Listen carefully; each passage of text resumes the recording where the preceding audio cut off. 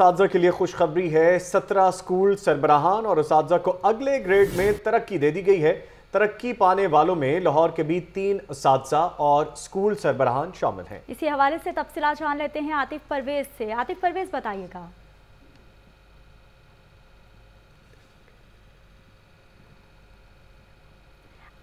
आतिफ परवेज से भी हम बात करने की कोशिश करेंगे। यहाँ पर आपको बता रहे हैं कि इस के लिए खुशखबरी है। सत्रह स्कूल सरबराहान और इस को अगले ग्रेड में तरक्की दे दी गई है। तरक्की पाने वालों में लाहौर के भी तीन इस और स्कूल सरबराहान शामिल हैं।